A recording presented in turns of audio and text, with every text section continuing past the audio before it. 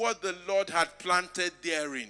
What the Lord had planted therein also affects your mind. That's what you call your DNA, your reflective and instinctive and intuitive action.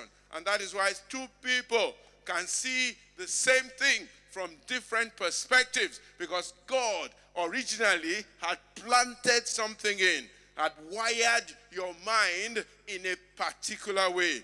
That's why some people consistently see something in a particular way because their minds have been wired like that. Their minds like have been wired like that. Some people are naturally suspicious of almost everything. Some people are naturally optimistic about almost everything. Some people are naturally pessimistic about almost everything. Some people are lazy inside of their minds because somehow that is how their minds have been wired.